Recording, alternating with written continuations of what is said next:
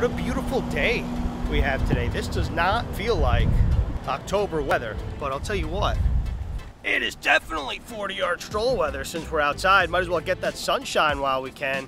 Waiting on Greg Van Roten and then we'll get cracking. Welcome to another edition of the 40 Yard Stroll presented by the New Jersey Lottery, this time with Greg Van Roten. Greg, thanks a lot for joining me. Thanks for having me. All right, let's see, let's get going. So before you hopped on here, I was listening to some country music. I feel like you might be a big country guy. Is that is that fair to say? Uh, it's unfair. I'm definitely not a country Okay. guy.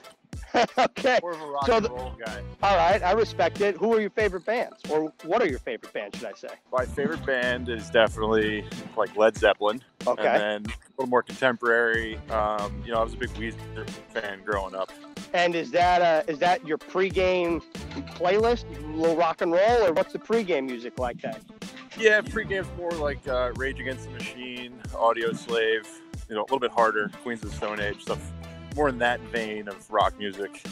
Okay, that's fair enough. You know, I, I, the only reason why I was asking about uh, country is because you got kind of the Luke Combs look, you know, the long Yeah. beard. So you know who that is, right? really. This is this is just I haven't had a haircut in a long time. Time- Times are Okay. tough. Have you gotten a haircut in quarantine? I got one. I probably had two haircuts since February. Wow. Okay. Respect that. I, Yeah. I think I've had two as well since February, so we're on the same page here. So you're a rock and roll guy, not really a country guy, but you're definitely a steak guy based on your Instagram. Yes, I do love a nice piece of red meat. Uh, and what is your favorite cut of red meat? Uh, I like the ribeyes. You know, the nice fat. yeah, you're speaking my language. a lot of flavor in those. Uh, good marbling. All right. If you want, if you want to go more upscale, you're going wagyu. I love it. So, what is the m- most common misconception, or maybe like a little steak tip that you have if you're grilling? Because right now we're in October, but look at this weather.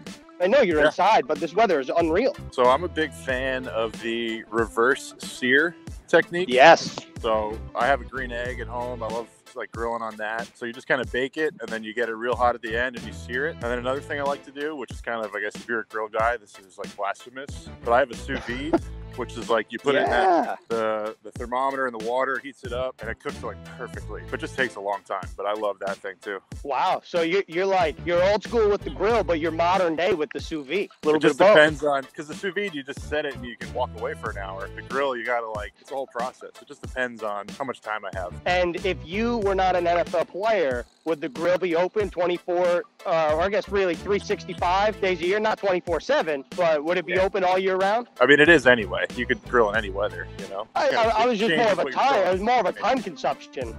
yeah but i mean you know you go inside if it gets too cold yeah, I, I, I like the way you think, Greg. Spoken like a true Long Island native. So, you know, I, I'm just curious before I ask you what your anything can happen moment. As somebody that grew up on Long Island, you go to Penn. What's it like at Penn? At being one of few Penn football players in the NFL, is that like a kind of a special fraternity there? yeah there's just a few of us um, actually now we got a couple guys in the league so it's pretty cool um, for us and for this college just to be able to go back and talk to those guys and kind of show them that like you can have a great education and you can play in the nfl if you are you know willing to put in the work and you're good enough Is that a must for two Penn players to jersey swap, even if you didn't cross over at school? well this year you can't really jersey swap but we're definitely taking you know socially distanced pictures Okay.